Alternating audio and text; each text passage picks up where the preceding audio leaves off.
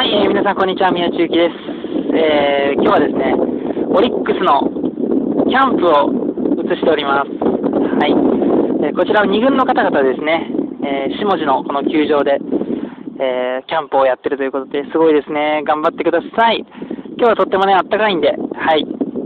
いい感じだと思います。はい。それでは、またね